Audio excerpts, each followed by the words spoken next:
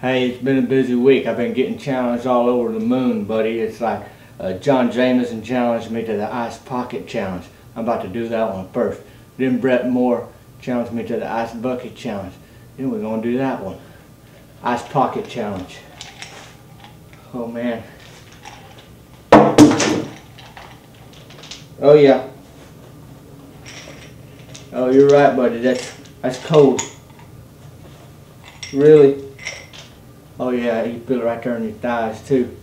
I was thinking about challenging Mort Waddell, but he he run he wears them little running shorts that ain't got no, and not got no pockets in them, so I ain't gonna do him no good. But oh yeah, that cools you right off.